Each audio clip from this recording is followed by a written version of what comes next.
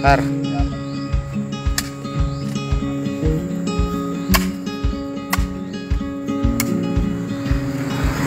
Nah ini. Polantas Polsek Waro nyangkul dia membantu masyarakat memperbaiki lubang. Swadaya masyarakat ini swadaya polisi. Ya eh Pak Hendro ini anggota Polsek Waro nyangkul dia.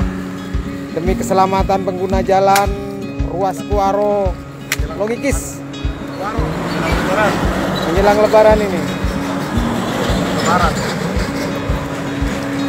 ini Bapak Latif ya anggota Polantas.